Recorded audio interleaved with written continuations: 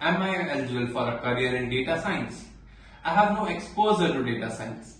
Where do I even begin? Will companies pay me the massive CTC even though I have no experience? Are you asking any of these questions? Companies compensate you for the value you bring on the table, not for a previous experience or the background. Think about that. So invest in a future skill such as artificial intelligence, machine learning, Python. You can be a future AI scientist or a machine learning engineer, even a Python developer. If you know reasonable at maths, basic programming, and you're willing to learn a little bit. And if you're from non-technical background, please be a little patient with yourself.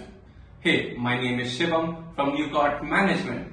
NUCOT from last 12 years has helped over 10,000 plus graduates and students to secure, fulfill their dream jobs the companies like Amazon, Wipro, TCS, EY and many more. With a very good salary package of 5 lakhs, 7 lakhs, 10 lakhs, 15 lakhs, even 20 lakhs as well. So, if this message resonates you, click on the link below in the description and enroll for a data science training program. We'll see you at NUCOT Training.